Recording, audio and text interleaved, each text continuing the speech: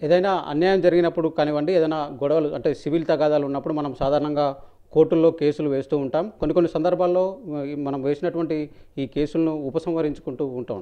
అంతేకాకుండా అదే కేసులను మళ్ళీ తిరిగి వేసేటువంటి అవకాశం కూడా అక్కడక్కడ మనకు కనిపిస్తుంది. ఈ నేపథ్యంలో ఒకసారి ఉపసంహరించినటువంటి కేసును మళ్ళీ అదే కేసును మళ్ళీ తిరిగి న్యాయస్థానంలో దాఖలు చేయవచ్చా? దానికి ఎలాంటి ప్రాసెస్ ఉంటుంది తెలుసుకునేటువంటి ప్రయత్నం చేద్దాం. మనతో మాట్లాడడానికి ఉన్నారు హైకోర్టు సీనియర్ న్యాయవాది గోపాల్ శర్మ గారు. సార్తో మాట్లాడదాం. సార్ చెప్పండి మనం సాధారణంగా కేసులు వేస్తూ ఉంటాం. కొన్ని కొన్ని సందర్భాల్లో కొన్ని కొన్ని ప్రెజర్స్ వల్ల ఉపసంహరించుకుంటూ ఉంటాం. సో అలాంటి కేసులను మళ్ళీ తిరిగి కోర్టులో వేసేటువంటి అవకాశం ఉందా సార్?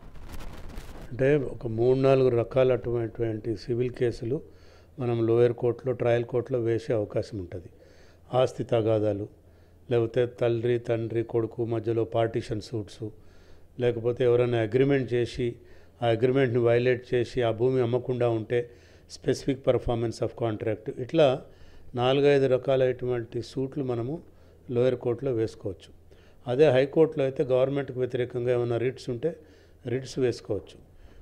సామాన్యంగా ఏమవుతుందంటే ఒక సూట్ కనుక మీరు కోర్టులో వేస్తే ఆ సూట్ వేసేటప్పుడే దానికి స- మీరు అది అది ఎవిడెన్స్ కింది ఏదైతే కాగితాలు పెట్టాలో అన్ని ప్రూఫ్స్ పెట్టి ఒక సూట్ వేయాల్సి ఉంటుంది. సపోజింగ్ కొన్ని కాగితాలు మర్చిపోతాం. తర్వాత వేయాలనుకోండి. అక్కడ సెక్షన్ క్లర్క్ కనుక అబ్జెక్షన్ చేస్తే మళ్ళీ రీసబ్మిట్ చేసి వేసేది ఒక ఒక ప్రహసనం అది. అయితే కొన్నిసార్లు ఏమవుతుందంటే కోర్టులో కేసు వేసిన తర్వాత పార్టీల మధ్యలో కాంప్రమైజ్ అవుతామని అనుకుంటారు అనుకోండి అప్పుడు order twenty three rule one కింద విడ్రా చేసుకునే అధికారము ఆ పార్టీకి ఉంటుంది. ఆ అడ్వకేట్ ద్వారా విడ్రా పిటిషన్ వేసుకోవచ్చు. అయితే అందులో order twenty three rule one కింద with a liberty to file a civil case again అని కూడా పర్మిషన్ తీసుకోవాలి. అంటే ఈ కేసు విడ్రా చేసుకొని సపోజింగ్ ఫస్ట్లో ఏదైనా కాగితాలు మర్చిపోయి వేయకపోతే రెండోసారి వేసే అవకాశం ఉంటుంది కాబట్టి విడ్రా చేసుకోవచ్చు. మళ్ళీ సేమ్ కేసుని తిరిగి మళ్ళీ వేసే అవకాశం ఉంటుంది. బట్ అగైన్ పర్మిషన్ ఇవ్వాలి కోర్టు. ఇస్తే అప్పుడు మళ్ళీ వేసుకోవచ్చు. సేమ్ హైకోర్టులో రిట్ కూడా అంతే. ఏదైనా రిట్ వేస్తాము ప్రభుత్వానికి వ్యతిరేకంగా. అందులో ఏమైనా కాగితాలు తక్కువ ఉండి వేయలేకపోతే జడ్జి గారు అంటారు బెటర్ అఫిడవిట్ ఫైల్ చేయండి అని చెప్పి. అప్పుడు మనం బెటర్ అఫిడవిట్ ఫైల్ చేయొచ్చు. లేకపోతే టోటల్గా with liberty to withdraw the case and file again అంటే you will give a permission. Judge గారు హైకోర్టు జడ్జి గారు పర్మిషన్ ఇస్తే మళ్ళా ఆ పిటిషన్ని మళ్ళీ ప్రొడ్యూ రీప్రొడ్యూస్ చేయొచ్చు. సో విడ్రా చేయొచ్చు మళ్ళీ రీప్రొడ్యూస్ చేయొచ్చు.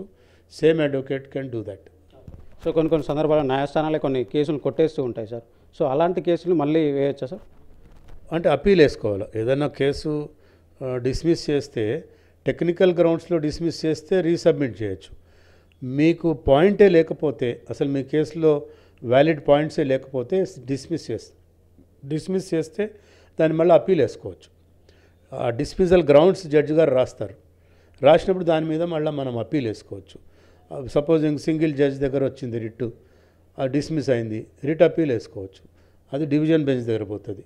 ఇద్దరు జడ్జిలు ఉన్నటువంటి జడ్జ్ ఖండపీఠ అంటారు దాన్ని.